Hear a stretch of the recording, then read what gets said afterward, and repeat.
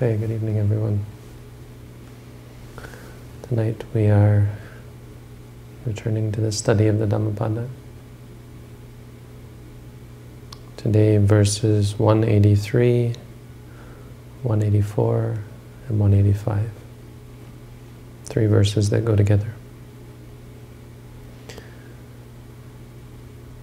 And they go as follows. Sabapapasa akaranam kusalasa upasampada sachitta pariyodapanang etang buddhana sasanam. That's 183. It means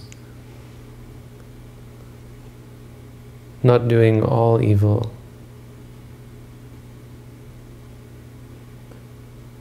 uh, bringing goodness to fulfillment, doing good things, together with purifying the mind. This is the teaching of all Buddhas.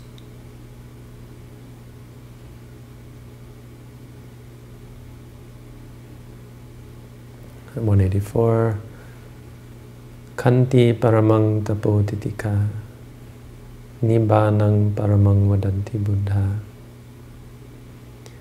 Nahi papachito parupaghati samano hoti parang vihetayanto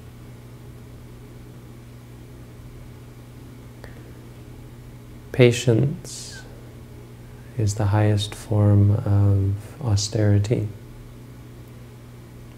patience or forbearance.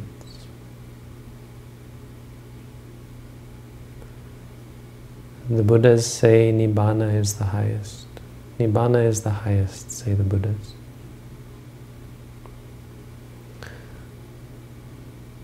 One is not a, one cannot be called one who has truly gone forth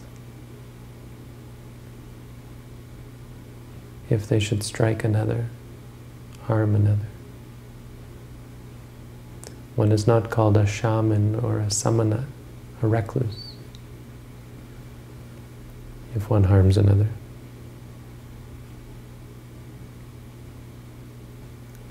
One eighty five Anupavado Anupaghato Patimoke Jasangvaro Matanyuta Jabatasming Pantancha Sayanasanang Adhijite Ja Ayogo Etang Buddhana Sasanang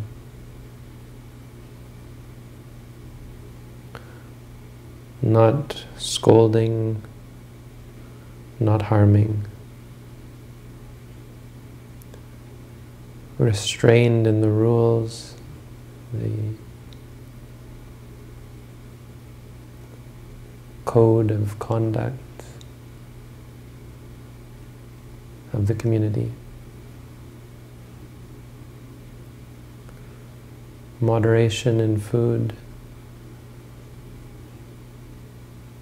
a secluded dwelling. And devotion to higher states of mind. This is the teaching of all Buddhas. So, these three verses, it should be maybe evident if you haven't heard them before, that they're somewhat important, central to Buddhism.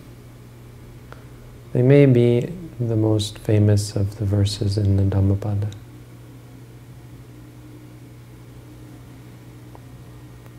In, in Buddhist circles, or if you haven't heard them. The first one, I think, perhaps is the most important. It's one of the most important verses in Buddhism, simply because it sums up Buddhism quite well. I mean, simplistically, but but very simply.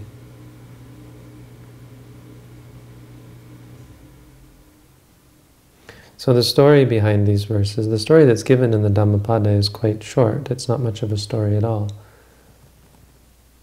Ananda is in meditation.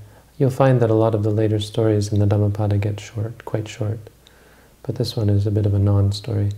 Ananda thinks to himself, well, the Buddha has told us all about the other Buddhas and how, how Buddhas are different from each other, how they are the same, how remarkable it is, how, how similar they are, but I wonder how it is in regards to keeping the holidays, the holy days. So in, in before the Buddha's time, there was a recognized spiritual uh, importance, which is artificial, I think, but uh, related to the moon. Right? Of course, what's spiritual about the moon? Well, psychologically there seems to be a connection. Apparently the full moon is when lots of uh, crimes are committed. There's, there's statistics to back it up. Maybe even physically there's a connection, something about the gravity or something, I don't know. Certainly it affects the tides. It may very well affect humans. But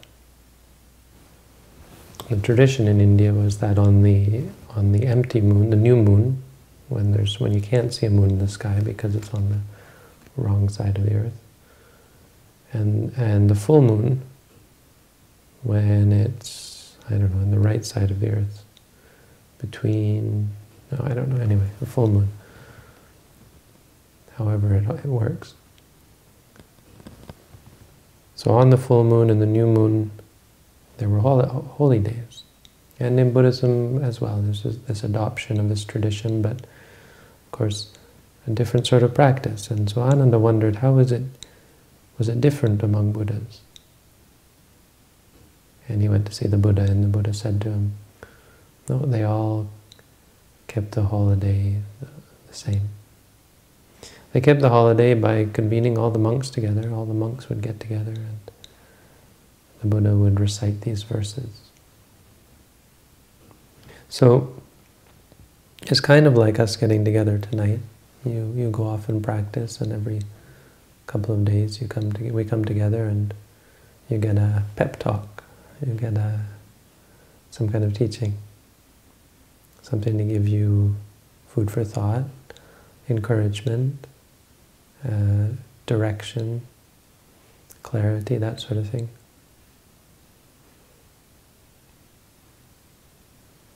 And so in the time of the Buddha and in time of all Buddhas, this would this was the way it was. They wouldn't constantly receive teaching. Many monks would go off in the forest for many days. But they knew that on the full moon and the new moon they should get together and receive instructions. And some of the instructions are going to be about communal harmony, and that's what you see in these verses. But the Buddha said that this, this was the teaching that all Buddhas give, so I can't verify that, of course, and I can't verify that the Buddha actually said that that was the case, or even that Ananda was thinking such a thing, but, well, that's the story. There's another story associated with these verses, because the thing is, these verses were what the Buddha taught from the very first Buddhist holiday when the Buddha got all the monks together. Apparently, the first time it happened was 10 months after the Buddha had become enlightened. And he was in Velawana, I think, in Rajagaha, first Buddhist monastery. So he had been given a monastery. He went back to Rajagaha after teaching the five ascetics. And on his way back to Rajagaha, he met this man Yasa, eh, a rich young man, and there's a story about him. I think we even have verses about him. And converted him and his, I think, 64 friends. So that's 65 more. No, wait. 59 friends, maybe. I can't remember the numbers. I think it was 60 altogether. And then you've got the other five First five is 65. I think maybe it was 55 plus 5 is 60. It actually was probably that, 60. I think in the end there were 60 monks and the Buddha said to them, go spread the Dhamma. And no, this wasn't on the way. See, my memory is terrible. This was before he left. So Yasa came to him and all these 60 monks, at the end of the rains, the Buddha sent them all, all 60 of them, to become, uh, to, to spread the Buddha's teaching. Anyway, don't quote me on the numbers. But then he went back to Rajagaha. And on the way, before stopping in Rajagaha, he went up on the mountains outside of Rajagaha where these ascetics were living, and he converted all of them. There was a thousand of them. And then he went to meet King Bimbisara, and because he had the support of all these many ascetics, Bimbisara and all the all of the uh, people of Rajagaha were quite impressed by him and the fact that he had converted so many other ascetics to become Buddhist. So they were also all converted. And Rajagaha became a very important Buddhist sort of base. It became a stronghold of Buddhism. The first monastery was Weluwana, which is the bam Welu means bamboo. And the Buddha spent some time there, but uh, while he was there, in the full moon of Magha, which we call now Magha Punami, and in Thailand they actually celebrate it as a holiday, and they talk about this meeting. The Buddha was sitting sitting alone and I think the story goes that all these monks had not yet become arahants. Right? That's the point. So the, the, the other monks had become arahants. The three disciples, these three ascetics, had become arahants. But here we had a thousand monks, somewhere 250 more, and they all became arahant on this night. This is how the story goes. It's just a story. The Buddha was sitting under the open air, under the full moon. And suddenly, well, then a monk, along comes a monk, coming to see the Buddha to tell him that he's become an arahant. And he sits down in front of the Buddha, pays his respect, and he's going to tell the Buddha that he's practiced successfully and become an arahant. But before he does, he thinks to himself, well, I'll make sure that we're alone. And he turns, and he sees another monk coming. So he waits. The other monk comes, sits down, pays respect, turns, and, and another monk's coming.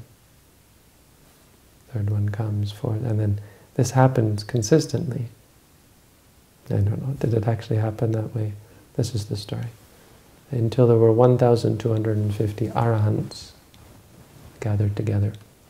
So it's called the Chaturanga Sannipata, which means the fourfold meeting, the four the meeting that has four qualities. The first is that they all came together, were 1,250 of them, without being called. Second is they were all arahants. The third is they'd all been ordained by the Buddha. And the fourth is the Buddha taught the Ovada Patimokkha. So he was sitting there and he taught these verses as the, the first admonition to the Sangha a regular admonition to remind them to be in communal harmony and following the Buddha's teaching. That's, I think, the proper story for these verses, how they came about. It's a very important meeting in Buddhist history. As to the importance of these verses for Buddhists and for us, our practice, as meditators in Buddha, in the Buddhist tradition. Um, I mean, part of it is very important. Part of it, I think, is just something that reminds us of how to live in a community, but we'll go through it piece by piece. The first verse, as I said, is, is the most important and the most influential, giving a very good summary of Buddhism that you can take with you if anyone asks, wants a simple question, simple answer to the question, what is Buddhism? What did, what did the Buddha teach? Or what is Buddhism from our perspective? And it's three things. Don't do evil deeds, do good deeds, and purify the mind, which on the face I think it's easy to dismiss and think of as quite simplistic and quite similar to other religions. It's very easy to miss the third part, miss the significance of the third part. Because the first two are indeed quite um, similar and, and, and you know, widespread. It's the kind of thing you hear in any religious, spiritual, moral, ethical, cultural tradition. Do good, don't do evil. But there's two problems with that, of course, which the third one, I think, addresses. The first is how do you know what's good and what's evil? Some religious traditions get it quite wrong, saying killing is good. Many will say that alcohol or even drugs are good. And even if they get the basics right, like no killing or stealing, those are all evil things. There's still, it's still very rare to see a good understanding of, of actual evil. Why is it evil to kill? Well, killing isn't itself evil. If you step on an ant, didn't know the ant was there, did you commit evil? If you say you did, well, you have to give us a reason why you think that is evil. Evil in, in Buddhism, of course, is, is in the mind. It has nothing to do with the killing. It has to do with the mental qualities required to rob another being of its life, to suppress your own uh, inclination towards life and towards the preservation of your own life and life in general, to be cruel and to deny that to another being. I mean, there's a psychological process that goes on. That's what we say is evil. But you can't see that if you don't do something else. You can't simply start from telling people not to do evil if they don't know and, and don't have a clear understanding of what is evil. I mean, it's not enough, at least. You can convince people of it temporarily, but the long term it's not sustainable. It, it, it leads to a lot of doubt and uncertainty and, and discomfort, having to follow rules that you don't really understand or you find yourself having to put blind faith into, which is very difficult to sustain. The second problem is, even if you know what is evil, and, and of course what is good, right? If you know that meditation is good, or you know, you know that um, charity is good, that love is good, that wisdom is good. Putting aside meditation for a second, right? Because that's the third one. We just know that this quality is good and that quality is good. And we know that this quality is bad, this, that quality is bad, greed is bad, anger is bad, delusion is bad. How do we get rid of them? It's not enough to know what is what is bad and try your best not to do it. I'll say, okay, I know anger is bad. I'll try my best not to be angry. Without purifying your mind, doing evil and or not doing evil and doing good is much easier to say than to actually accomplish. And so this is considered to be the what distinguishes Buddhism from most other traditions, was the purification of the mind. Not even just the tranquilizing of the mind, the tranquility or peace that comes from certain meditation traditions, but actually cultivating in the mind the capacity, the clarity, the purity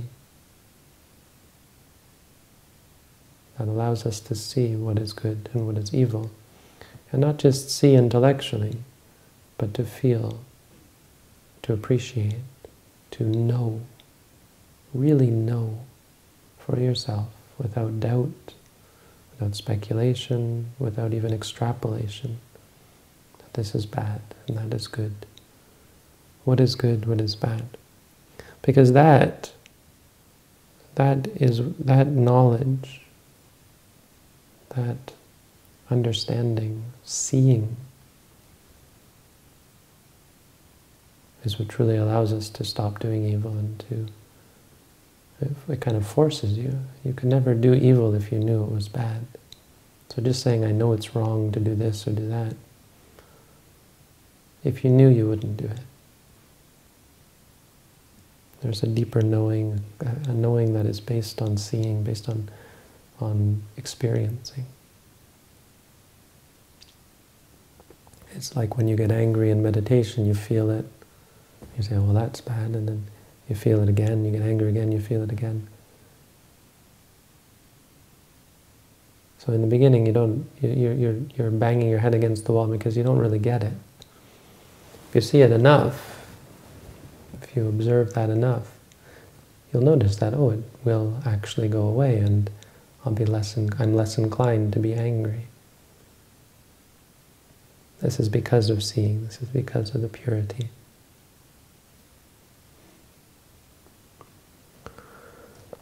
So if you want, if anyone asks what is Buddhism, this is a very easy way to explain to them what is Buddhism.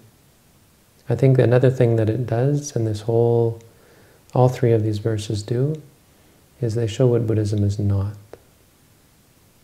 It's not a lot of extraneous or superfluous baggage.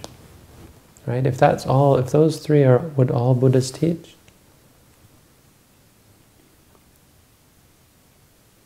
then all you, you, you've cut off any sort of view, any sort of intellectualization,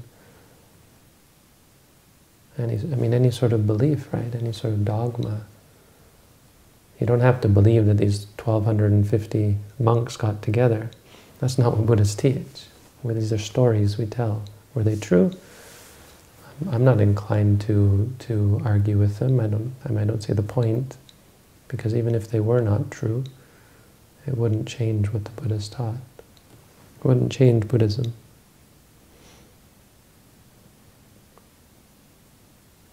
So that's the first verse. Very good one to remember. Sabapapasa akaranang kusala supasampada. Kusala supasampada. Sachita pariyoda panangi tang buddhana sasana. Three things are the Buddha's teaching. The second verse three parts. The first is that patience. And remember, this is a this is mostly focused on people living as you're living here temporarily, living in a monastic community. Because you're most of you here for a short time, you won't probably experience a lot of the problems of living in a spiritual community, the challenges. It's quite easy, much easier to do this temporarily than to have to live in a monastic community long term and maintain the sort of harmony that you experience short term. But there, it's useful to think of, and it's useful to look at the words that the Buddha used. The first one's very useful, and it's useful outside of monasticism as well, uh, in, specifically in meditation practice, and without even talking about living in a, in a meditation community when we practice at home and you're living your life, patience. Uh, even outside of the practice, it's very important, right? But the words the Buddha used are, are interesting to look at. Tapas, he said. Kanti paramang tapo. So tapo is from tapas. Tapas, if you, for those people who have learned anything about Indian religion or spirituality, tapas, tapas literally means heat. It's probably where the word temperature comes from. Or tepid, maybe.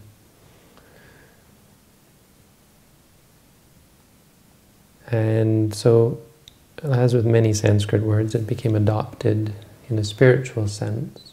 And the theory went like this. We know that clinging and desire and lust is a real problem.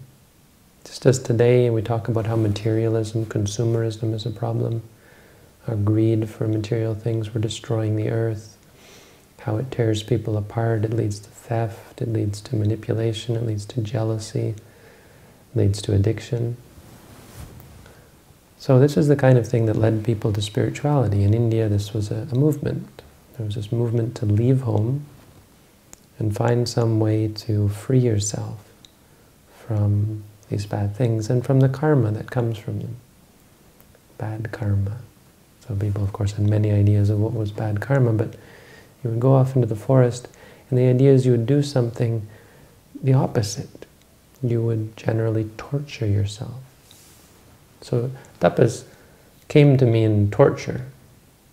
Why, why torture? Because torture you would, if you, if you really put yourself through great pain, the idea is you would burn up all your lust, all your desire would go away. Because it's the opposite. Instead of having lots of pleasure, of course it's ridiculous. In Buddhism we don't have this belief, but if you put a lot of pain, then somehow uh, it would retrain the mind to be used to pain and not need pleasure. To some extent, I think it probably works. I mean, on a very superficial level. I think here you have to go through a lot of pain from having to sleep on the floor to having to sit on the floor having to eat only in the morning. It can be a bit painful sometimes. Even just having to walk very slowly can be a bit painful. Putting up with pain isn't a bad thing. But there's nothing special about it. If that's your goal, if that's your spiritual practice, on a superficial level it makes you a bit stronger, I think. Certainly these ascetics in India were quite impressive, their ability to withstand pain. You guys complain about pain. The pain that these ascetics had to go through, standing on one leg or lying on a bed of nails. I don't know, all sorts of crazy things they did.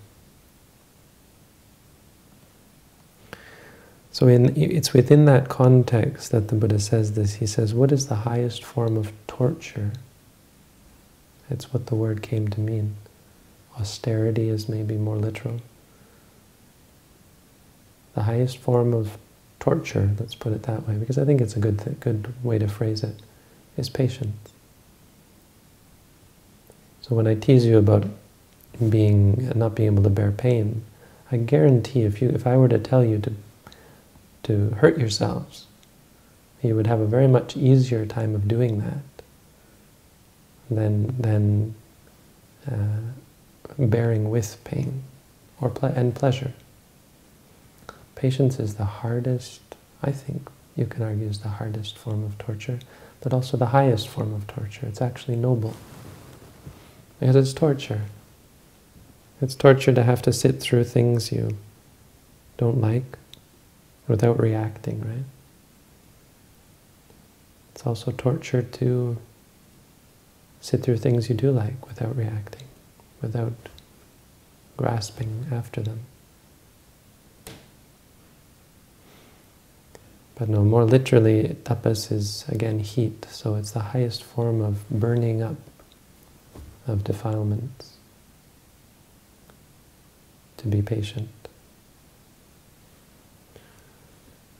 So in the beginning, this has the has the appearance of struggle. It's a, a, struggle to change your habits of behavior, your patterns of reaction. When you experience something pleasant, the struggle to not cling to it, to not like it, to not expect for it to be there, or want for it to be there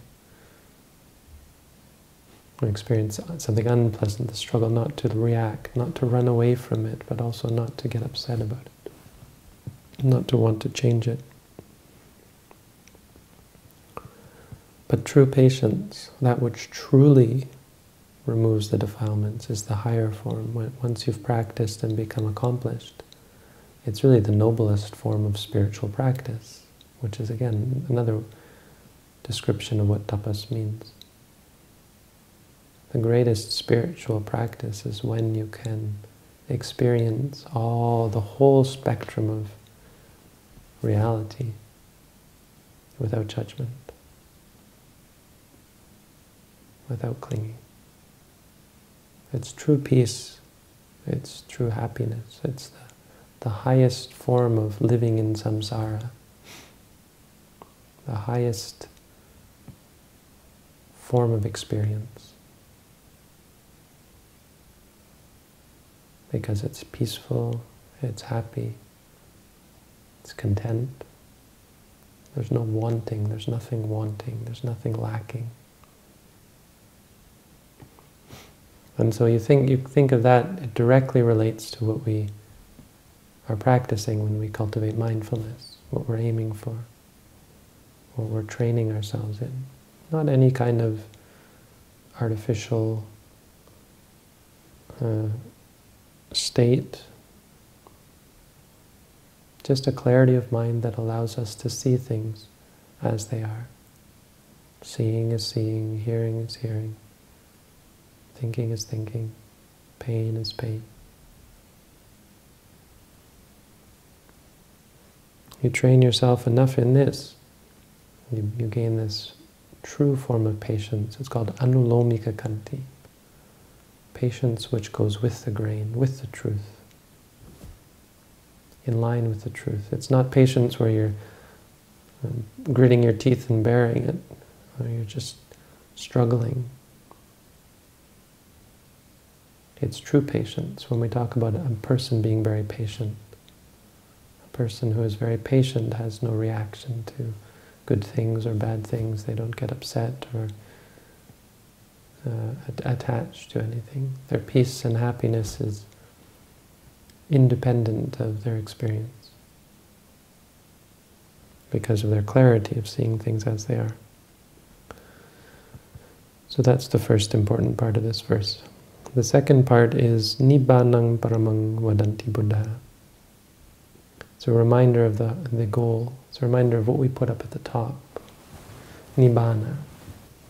So why it's important, and, and I think something important about it is a reminder that this isn't just a hobby.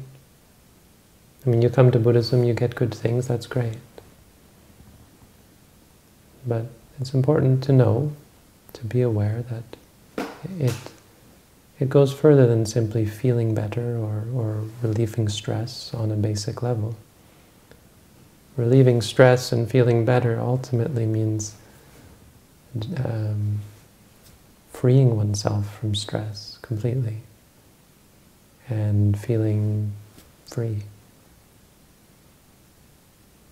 And so Nibbana, uh, the claim is that it's it's not only the highest, but it's also the goal. It's it's it's attainable. Nibbana means release, not clinging. It means freedom from suffering. It's a it's a state when when you look and, and cultivate mindfulness, you see clearly. When you see clearly, your mind lets go. Why? Because you see that the things that you cling to are not worth clinging to. They're impermanent, they're unsatisfying, they're uncontrollable. You'll see that. As the mind lets go, uh, there's less and less moments of clinging or less and less of a habit of clinging until finally the mind has a perfect clarity where it sees nothing worse worth clinging to and there's a release. That release is nibbana, where the mind no longer interacts with samsara. It's like dropping out of it. Just for a moment or a few moments. Can be longer. But that experience is it's life-changing. It's, it, it's a point of reference that an ordinary person doesn't have when we talk about what is peace and what is happiness. So all the things that we talk about as being this is happiness or this is peace or I practice meditation, I feel more peaceful, that's the goal. None of that is the highest. If you haven't experienced Nibbana, you haven't experienced true peace, the highest form of peace, happiness, freedom from suffering. Once you have, one who sees a Buddha even all of us who are practicing, we can become Buddhas. Anubuddha means someone who is becomes awakened following a Buddha. Once you see that, you know, you will say, that's the highest.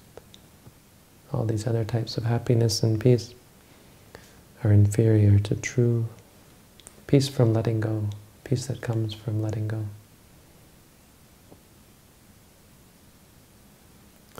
The third part is, again, an admonishment for monks, something you can keep in mind. It's an admonishment for everyone. I think it's quite obvious. And it may not be immediately apparent as to why the Buddha chose this in, in his ovada, in his admonition. It's um, one is not a, a pabajita. Pabajita means one who has left the home life. So you can't say you've truly left the home life if you hit someone, if you strike someone. Someone who is who is violent cannot be really considered a pabajita, uh, someone who has left home. A true, what do you call it, ordained individual, I think is the point. One who has made vows to leave behind worldliness. If you're violent, you can't say you've left the world behind. But you live in a monastic community long enough, you will probably, well, I think it depends. I don't know. I've, I've lived in monastic communities where there was violence. I spent my first year as a monk, uh, not, well, in Canada, in a small monastic community. I think there were two or three monks. Very little violence. Little violence. A little violence, but nothing really physical. But when I went back to Thailand, I was I wasn't there two weeks, and I was sitting in the mess hall with the other monks, and suddenly there was a clatter, and we all turned and looked, and this one monk stood up and started pounding another monk. Blood everywhere.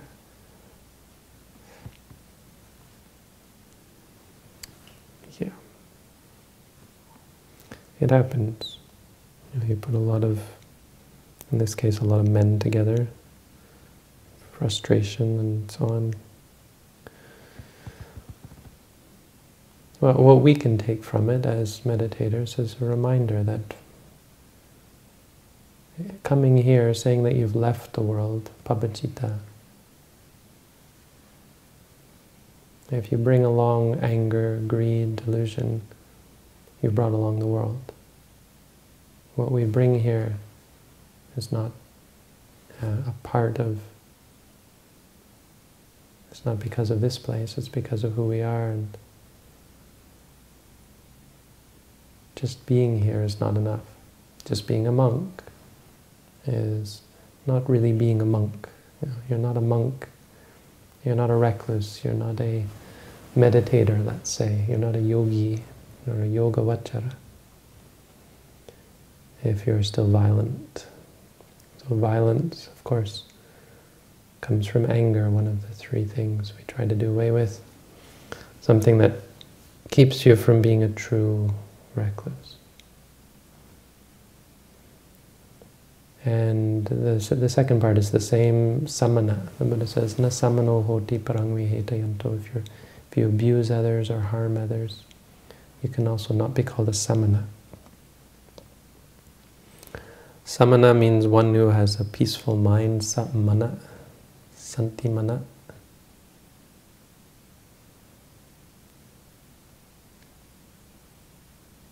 but it's a word that was used to describe someone who had left home.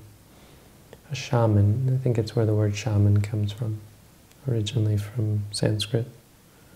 Sh shramana.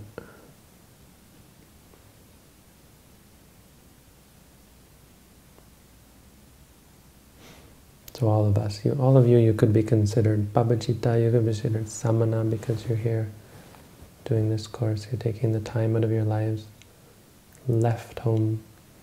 But if you bring along violence, if you bring along even anger and so on,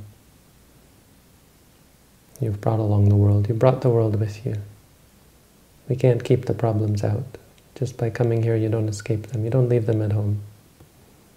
To really and truly leave home, you have to leave that. and You have to leave all of that. You have to free yourself from all of that really being a recluse is more than just putting on robes. This is, this is what I was thinking when one time this monk threatened me with violence. He said he was going to throw me off a wall, I remember. Very angry at me. And then he said something, I can't, what was it about being a monk?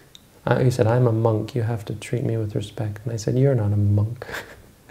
and he came back and said, oh, I must have, I was accusing him of breaking some precept and that I was no longer, or that, that um, because he had broken that rule, he was no longer a monk, and and that was a that was an offense. By I couldn't say that without evidence.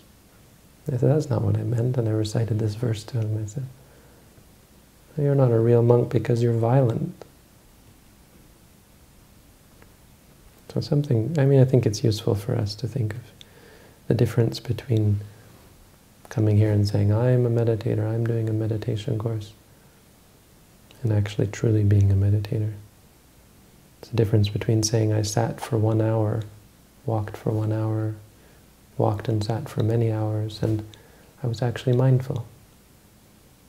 They're two very different things, right? You can walk and sit for many hours without any benefit if you're not mindful.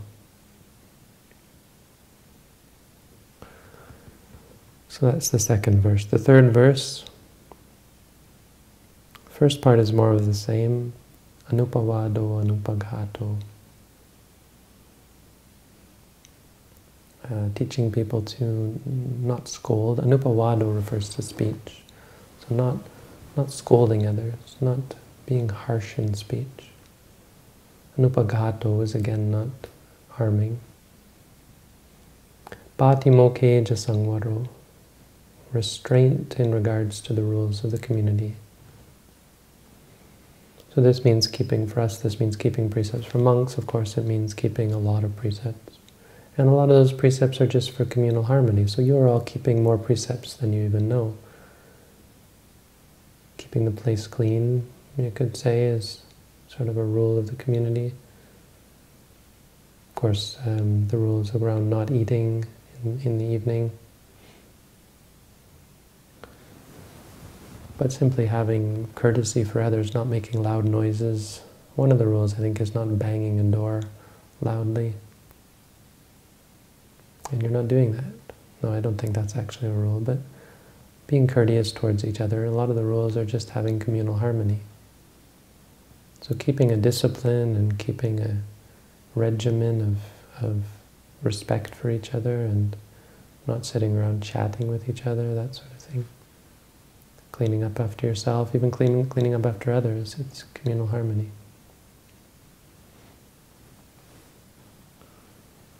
Matanyuta japatasming.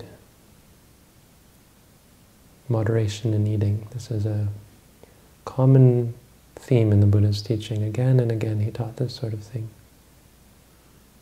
you might wonder why moderation in eating is so important, but if you think about the one thing, it's really the one thing that we can't help but partake in.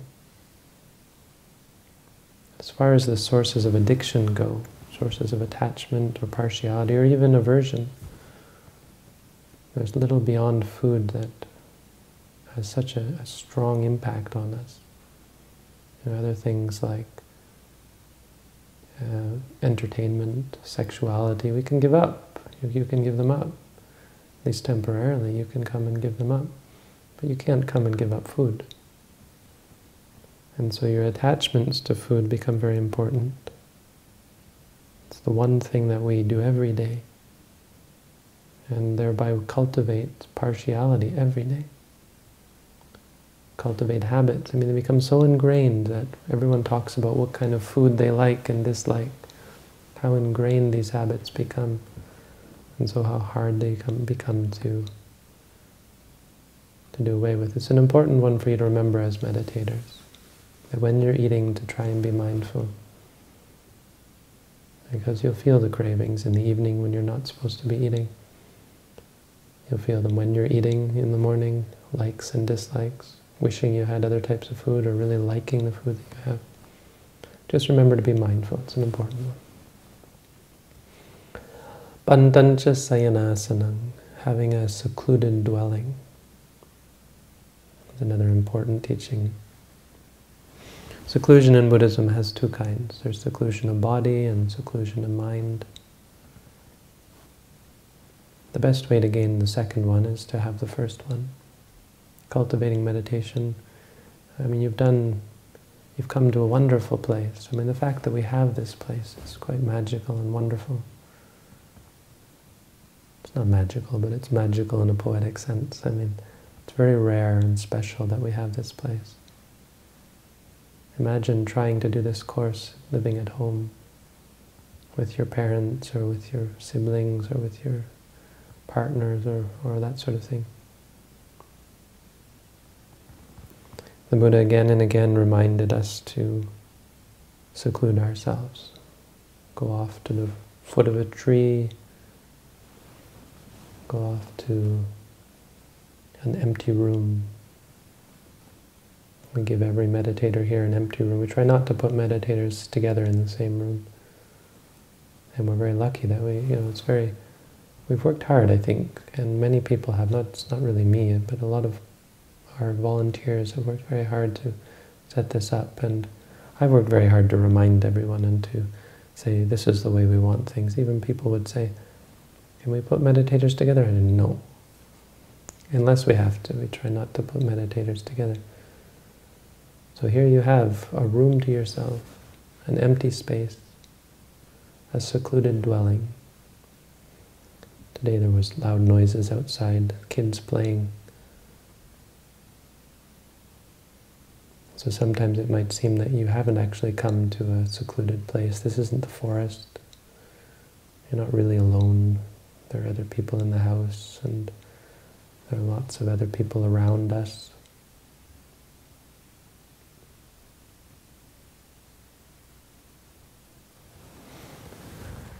But I think there's no question that uh, seclusion can be found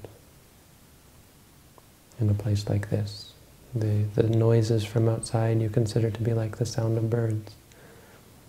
The other people in the house, it's the rustling of the wind and the creaking of the trees. If you ever lived in the jungle, it's actually not that quiet. There's a lot of noise in there as well.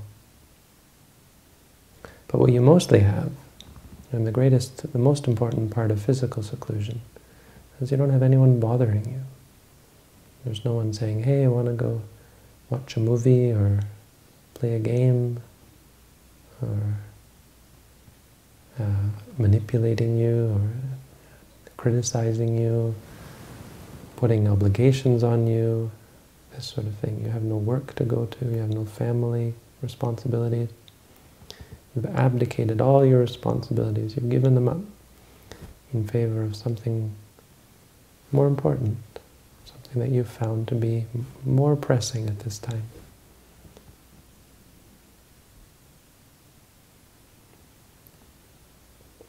And so you should feel that seclusion very strongly, that you have none of those pressing mm, engagements or interactions with other people.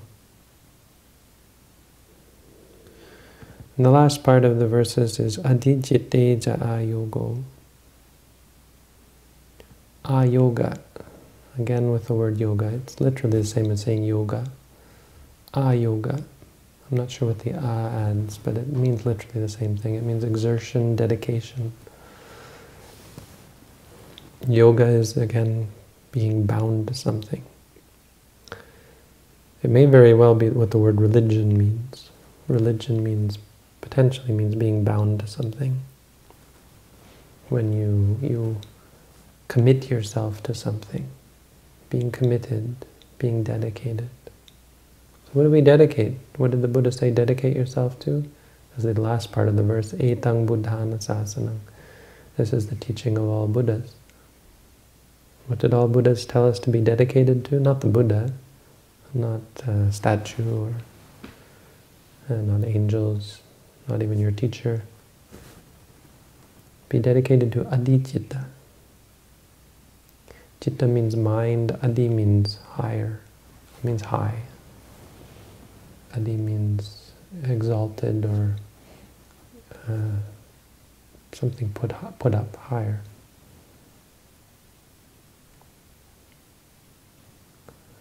And it's a good way of describing really anything that comes from meditation. Well, describing the distinction between states of mind, because you could argue some things that might call themselves meditation actually don't lead to any higher mind. It's a distinction between states. And you could say a distinction between types of meditation, that the only worthwhile meditations are those that lead to higher minds or high minds. What are the high states of mind? They're things like clarity, focus, uh, tranquility, equanimity, wisdom, mindfulness. Even things like love, compassion, these are higher minds. So dedication to all of these, even if you sit and wish all beings to be happy, it's a good thing to do for meditators, if I haven't mentioned it. Take some time out of your day to reflect on all the people you know and wish for them all to be happy. It's a good, good support for your meditation, for your mindfulness practice. But the idea is to cultivate minds that are higher, minds that are beyond ordinary. This isn't just meditation to feel peaceful or calm. It's about cultivation and mental development, bhavana they call it. Developing more peaceful, more clear, more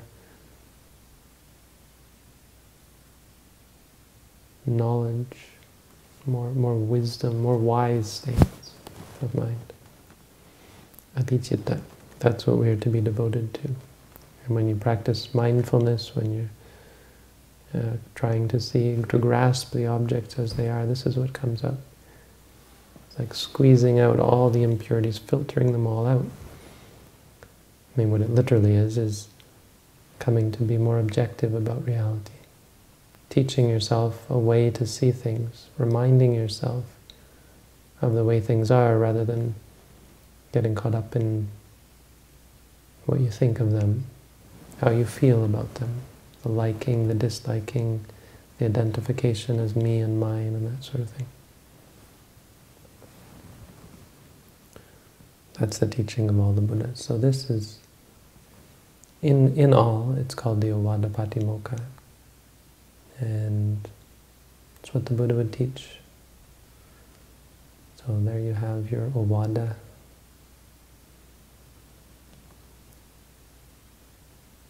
It all boils down to the first part.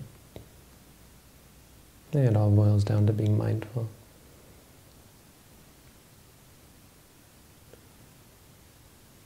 the ovada that the Buddha would give is to remind about rules and remind about practical things. But all of that is simply a basis and a support for the practice of mindfulness, which all of you are doing very well at, so much appreciation for your work and I'm here to support you. That's the Dhamma for tonight. Thank you all for listening.